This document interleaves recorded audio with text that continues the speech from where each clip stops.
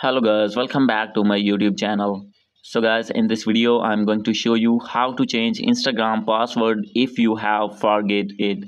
So guys if you have login your instagram on your iphone or on android phone and you have forget your password and want to reset or want to change your password you can easily change your password without old password. So let's get started without wasting any time.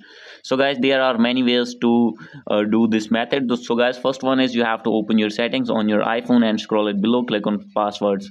And guys here you need to enter your iphone passcode. From here you need to find your instagram password old password that you have set. And guys after this when you need to enter your old password you can see from here and enter your old password and you will be able to change your new password. And the second method is you have to open your google chrome here. And guys after this you need to click on three lines three dots and here is the option of password manager. And guys after this you need to enter password as well. So guys from here you can find your instagram password as well.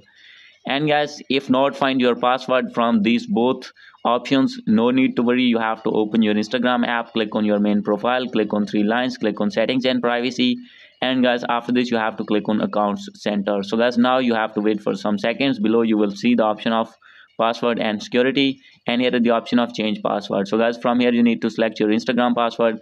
And guys now you can see here you need to write your old password mean current password. So guys if you forget it simply you have to click on forgotten your password.